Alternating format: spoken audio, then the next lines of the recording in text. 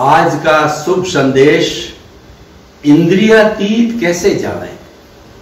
इंद्रियातीत का अर्थ होता है, इंद्रियों के परे।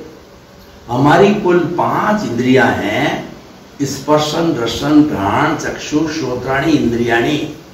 इन इंद्रियों के माध्यम से हम बाहरी जगत के पाँच विषयों की जानकारी करते हैं और वो इंद्रिया उन विषयों को ग्रहण करके भीतर मन को भेजती है तो ये तो इंद्रियों का काम है। लेकिन इंद्रिय जगत में केवल मनोरंजन ही होता है। हमको अगर आत्मरंजन में जाना है, हमको अगर प्रभु के दर्शन करने हैं, अपने स्वरूप की जानकारी करनी है, अपने आप को मुक्त करना है, मुक्ति की अवस्था को प्राप्त करना है तो हमें इंद्रियातीत होना पड़ेगा।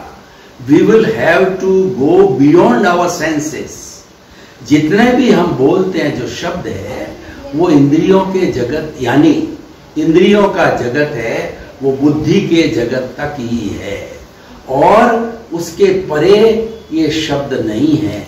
यानी जितना हमारे इस व्यवहार जगत के अंदर द्वंद्व चलता है वह बुद्धि के स्तर तक ही है। बुद्धि से परे जब हम वाइब्रेशंस के जगत में जाते हैं जब हम अवचेतन मन के जगत में जाते हैं तो शब्द समाप्त हो जाते हैं।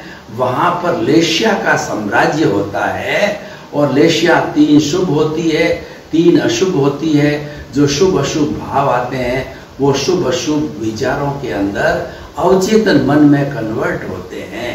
तो इंद्रियातीत का अर्थ होता है, इंद्रियों के परे जाना।